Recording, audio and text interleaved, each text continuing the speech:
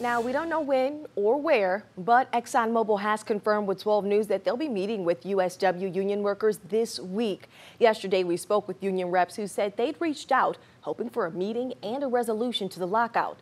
The two haven't met since May 12th. As you know, 650 workers have been locked out of the downtown Beaumont facility for nearly six weeks, so we'll keep you updated as we learn more.